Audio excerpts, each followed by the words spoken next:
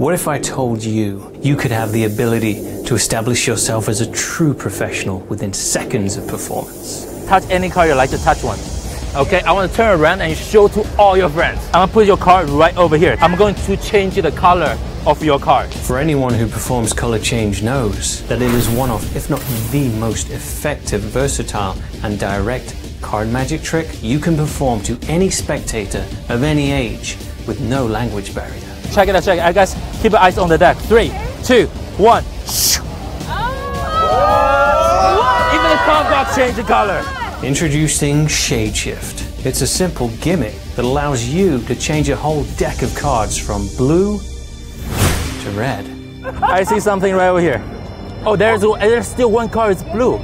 I guess this is car. That's your car. Whoa, whoa, whoa, whoa, whoa. This is blue color, right? It, it feels like blue too. You can touch it. It feels like blue, but it's different color than any other car. I want you hold this in your hand. Do not move. Grab a little red and put on top. No. Put over there. Oh my God. Have a look now. Have a look. Oh my God. Have a look. Have a look. Have a look. It's fast and easy to perform, and it'll leave a long lasting impression on your audience. Grab a little bit. Drop over there. Turn that over. Have a look. Turn that over. Have a look. Turn that over. Oh. Get it now, worldwide.